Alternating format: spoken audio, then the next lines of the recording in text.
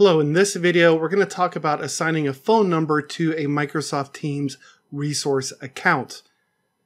Now, this is not dial-in conferencing, where there's a conference bridge and a bunch of people call in. This is literally a phone number just like it is for an end user, so you could use the Teams rooms and order a pizza, or someone could call in to talk to a person inside the conference room, but this is not dial-in conferencing, it's not a conference bridge. It's the same as you would assign to an end user, which brings me to the point that if you already know how to assign a phone number in Teams to an end user, you can stop watching now because it's the exact same. If you've never set up a phone number for an end user or for a resource account, let's go. To access Teams Admin Center, visit admin.teams.microsoft.com. From there, click on Users and then Manage Users. There are three ways to assign a phone number. There are three technologies direct routing, Operator Connect, and Microsoft Calling Plan. I'm going to show how to do all three.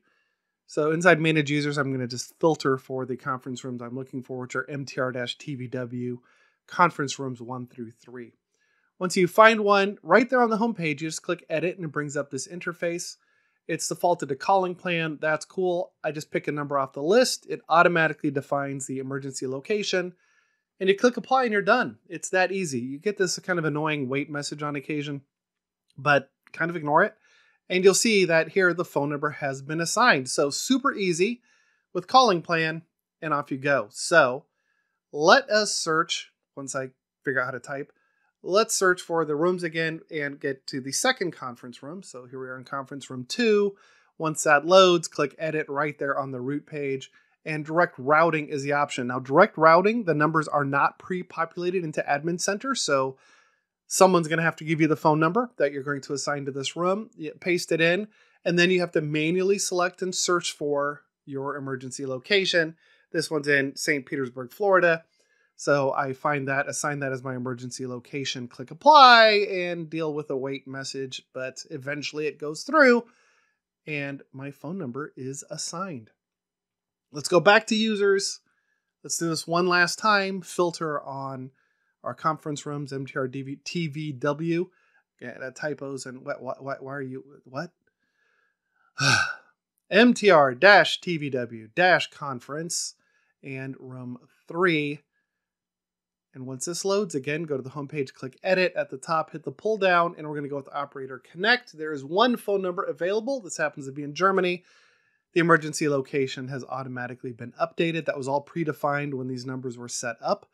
So you, as the room administrator, shouldn't have to worry about any of this stuff. Your telco people will have set that up. Click apply and wait. Uh, play that game. Maybe click cancel sometime randomly. Ah, there we go. Phone number assigned. So assigning phone numbers to a resource account via Teams Admin Center, super simple depending on which of the three methods you are using. Operator Connect, Microsoft Calling Plan, or Direct Routing. Now, if you're hardcore and you really want to do things, maybe set up automation, things like that, you can use PowerShell. So the first thing to do in PowerShell is to connect to Microsoft Teams and sign in. If you don't know how to do that, oh, there'll be a link in the notes on how to install the Microsoft Teams Management Agent. First thing I'm going to do is run get CS phone number assignment to list all of the available phone numbers and see which phone numbers are assigned or unassigned. The next command is get CSLIS online location, which is, stands for get CS location information service online location. And this will let me know the emergency locations which are already created. Here we can see there is a, a city of Munich in the country of Germany as an emergency location. Okay, now I'm going to take the location for the city of St. Petersburg and assign it to a variable called dollar sign $LOC1. And now I'm going to assign a phone number to my user account. So we can see here that the name of the user account, mtr-tvw-conference1 at teamsdeviceslab.com. The phone number I'm going to assign this is a phone number type calling plan, and then I'm going to use the location of St. Petersburg, which I defined in that variable in the first command. Now I'm going to run the same command, except it'll be a direct routing phone number. So you can see there where it says phone number type, that has changed to direct routing, and it is a different phone number, but otherwise it's the exact same command. So this is how you assign a phone number using calling plan and how to use a number, assign a phone number using direct routing. And now I'll get into Operator Connect.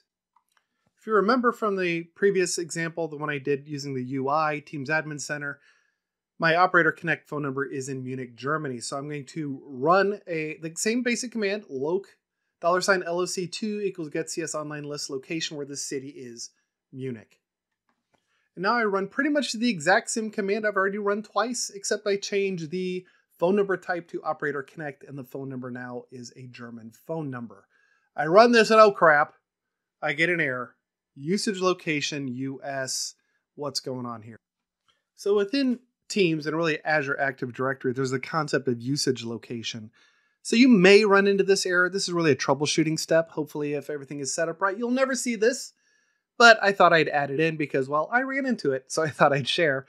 The user I created, or the resource account I created, I assigned to the United States, but I'm assigning a phone number in Germany. So I'm going to need to change or update the usage location of this user from the United States to Germany.